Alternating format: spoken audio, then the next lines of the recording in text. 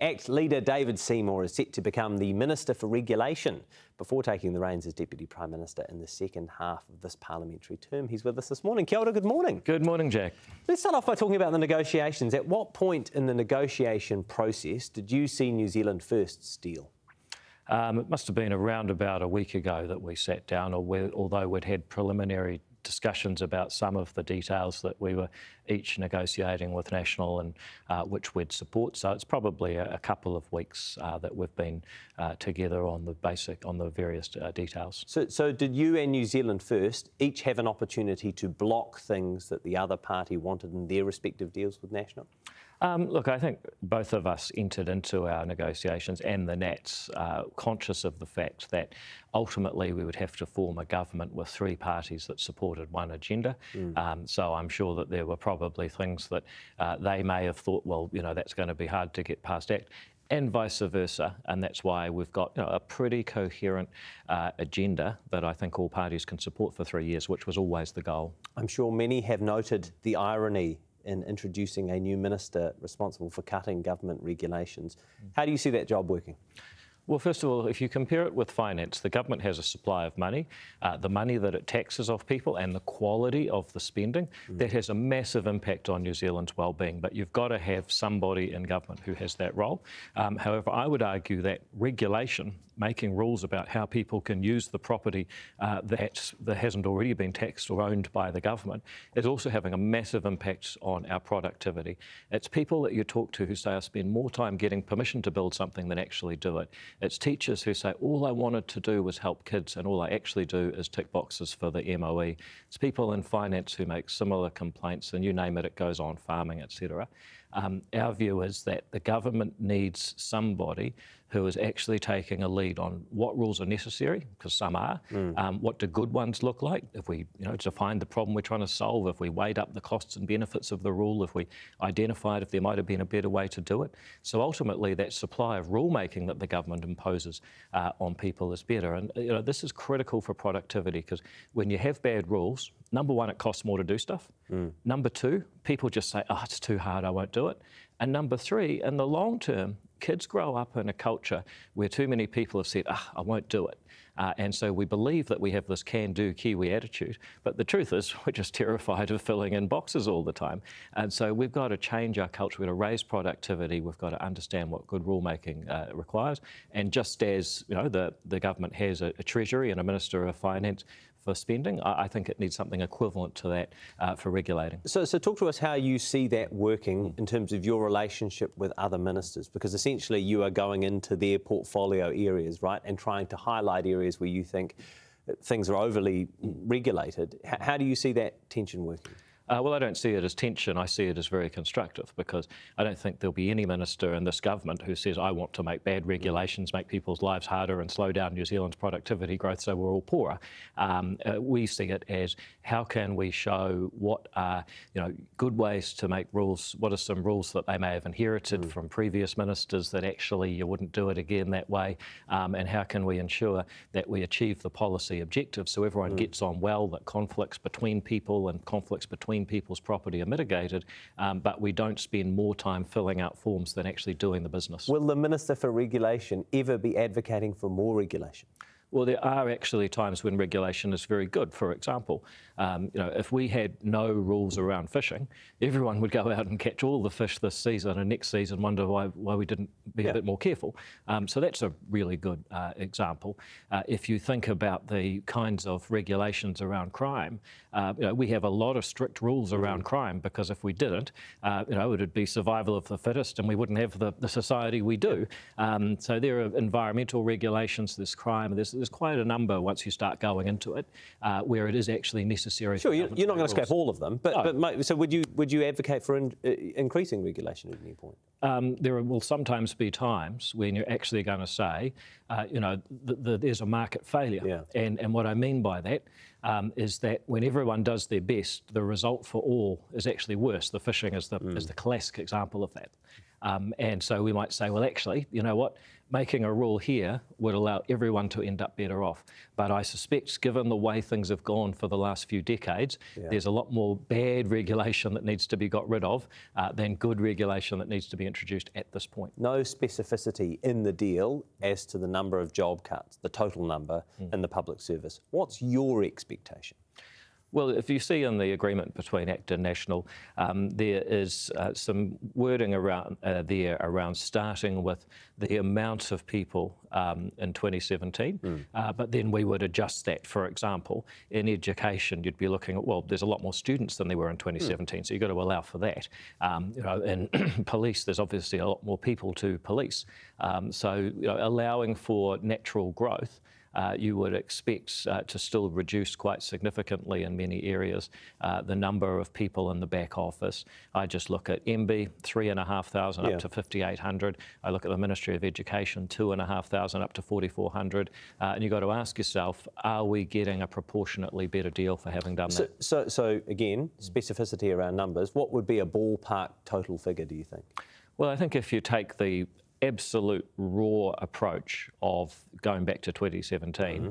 uh, then you get 15,000 yeah, and you adjust it service. as per But then you start to do all of those adjustments, uh, and you take about a third of that off straight away. Um, and inevitably, there's going to be special cases where we say, well, we want mm. the government to do more or whatever. So, you know, your 15,000 is your absolute top, yep. and then you know you're going to come down. Okay, so you take off a third, say, to 10,000, mm. and then you allow for a few thousand after that. So, so would, would 8,000 be a ballpark sort of figure, do you think? Well, that's not a bad ballpark, but I mean, Jack, bear in mind, mm. uh, we're now just having a bit of a game of working out what that looks like. Well, you've had, actual, you, have been working, yeah. I mean, you've been talking through all of this mm. detail, presumably, in the in the coalition negotiations. So I just want to get a really good yeah. steer. Well, I mean, yes, we have, but we've been talking about it as a matter of principle. Mm. Um, we haven't been talking about it with the amount of advice that you can get uh, from each chief executive, uh, mm. from the Treasury, uh, and all of the other advisors in government that can tell you more about the specifics. So yep. we can sit here and, as you say, ballpark it, um, but and we've done that. But I wouldn't want to stand by that before you've seen exactly what the numbers are in each department, and the, and also the changes in population or whatever is relevant uh, to that department. There will be no referendum at this stage on the treaty principles, but National will support a bill based on your mm. policy through to select committee. Mm. What do you need to convince Christopher Luxon and his colleagues about? Well, I think people need to see that this is actually a positive exercise. It's something that um, will enhance the mana of the treaty. The fact that we understand the treaty today through a lens back to 1840 we call the principles, and yet that lens, those principles, have never been properly defined uh, in accordance with uh, de- democratic processes, been defined by the courts, mm. been defined by the Waitangi Tribunal, the public services had a go, um, but it's never been done democratically on behalf of the people in the House of Representatives. So we have started that process. I believe it will be positive. There's other people who want to make it a negative mm. thing, that's fine.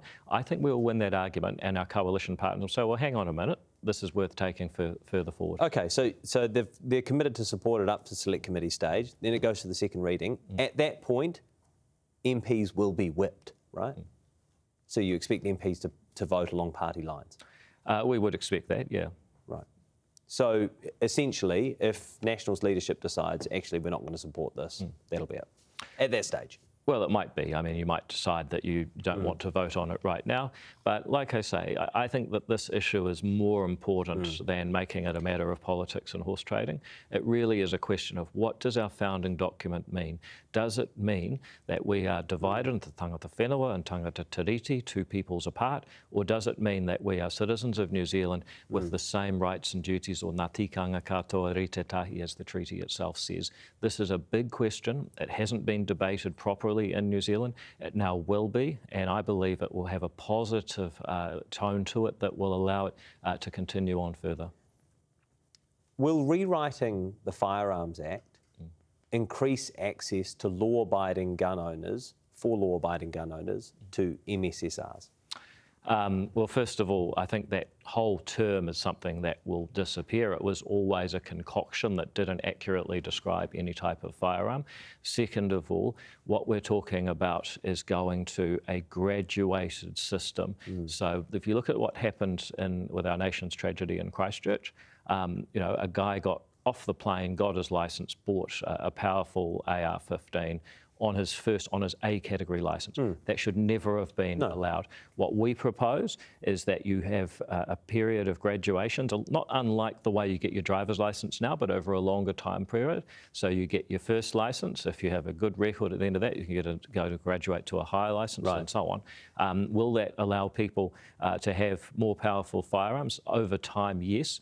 Um, but of course, as we've had uh, discussion in this, yeah. at this table before, um, you've got to remember there's about 6,000 people who can have centre-fire semi-automatic firearms now. Um, I don't imagine that that will change greatly. So what would be the time period under the, the new rules and the new Firearm Act, uh, Firearms Act what would be the time period between getting your very first license mm. and being able to access an AR-15 style rifle? Well, that would depend on whether you had uh, a special purpose uh, for having one. So uh, potentially never, and it's not an easy answer to give because to some extent you would be grandfathering in uh, experience and time with a license as a fit and proper person prior to this new law. Right. Um, so, so what would be the earliest amount of time mm. if, if you meet, met all of the qualifications? Well, if you're, if you're somebody that has one of those firearms right now, uh, then you would continue to have one. Sure, but but if, if you're someone who has no firearms license, to mm. go, what would be the, the shortest period of time between going from so having no firearms license to being able to if you, if you'd like never had one before,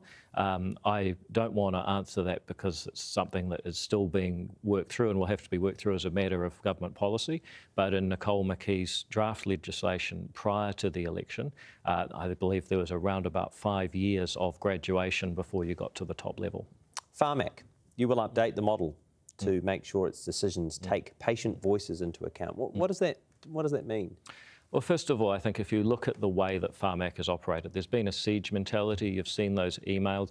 Whenever I've had people, literally Patient Voice Aotearoa or other um, know, organisations that advocate for patients, uh, they have traditionally found it very difficult to get a hearing. However, patients can often give quite valuable information about how the funding of a pharmaceutical or treatment mm. or device would help them. Um, and often that information is actually quite useful for Pharmac's decision making.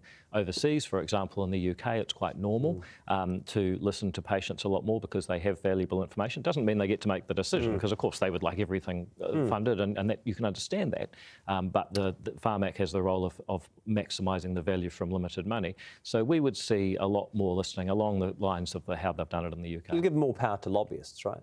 Uh, no, I don't think so. But I think more access of, I mean, because a lot of lo lobbyists and, and, a lot of pharmaceutical companies support these patient groups, right, mm. financially.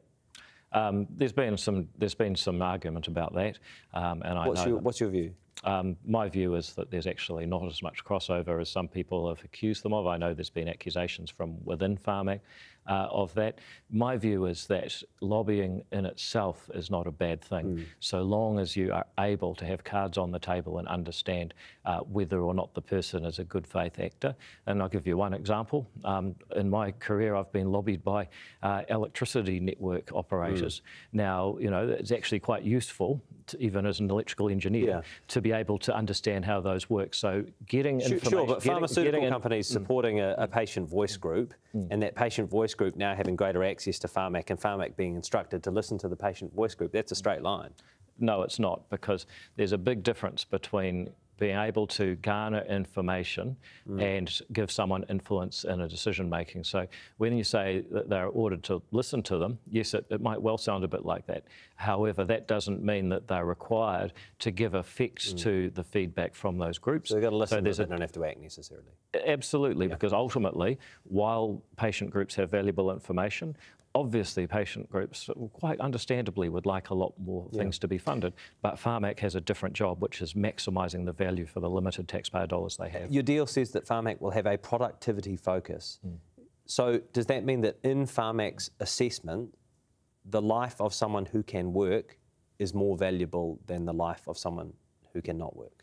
Uh, no, it doesn't mean that at all. But what it does mean is that if funding a pharmaceutical uh, would actually mean that a person, for example, didn't need more operations that can cost mm. the healthcare system elsewhere, that frees up money. So it's almost like getting something for free from the taxpayer's point of view. Similarly, uh, if funding a pharmaceutical meant that a person uh, would go and work and pay tax and increase the amount of money mm. available for funding all pharmaceuticals, then again, you know, that also means that more people can have more. Uh, so it's not the case that their life is more or less valuable. Uh, it's a question of how do we make sure for the limited taxpayer dollars that we have that we can fund as many pharmaceuticals as possible and make all lives more valuable. The Reserve Bank, you want the bank's remit to specify time targets for reducing inflation. What should those targets be, or are they staggered? Um, well, first of all, there could be multiple staggered targets. In the past, when specific timeframes for reducing mm. inflation mm. were given, uh, there was just one target. So I think if I recall, the very first policy targets agreement back in 1990 said get inflation down between 0 to 2% by mm. the third quarter of 1992, uh, or you will be fired. Mm. And the Reserve Bank governor at that time achieved that target. Um, since that time, we've started saying things like, oh, we'll get it down in the medium mm. term. Now, I asked Jacinda Ardern as Prime Minister what that meant. She didn't know. So, okay, so what, what will it mean under the under this deal? Under the negotiation, under the negotiated agreement between ACT and National, uh, it means that the Finance Minister you've just spoken to um, will, at the very least, investigate whether it might be better um, to go back to specific targeting.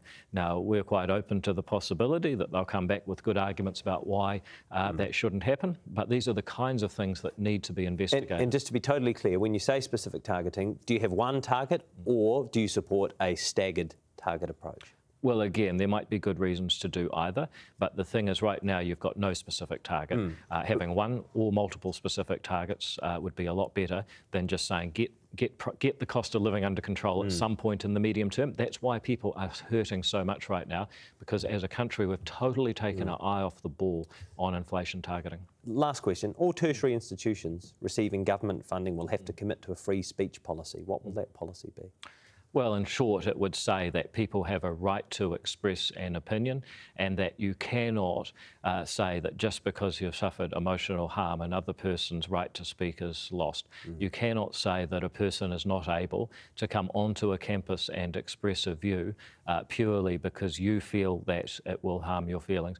You know, Jack, I think one of the bigger meta problems that we have as a society right now is that people are so worried about being offended. People are so worried about anything going wrong, that we become totally risk averse, we become totally fragile, and we fail to solve the very real problems, which actually leads to greater harm in the long term.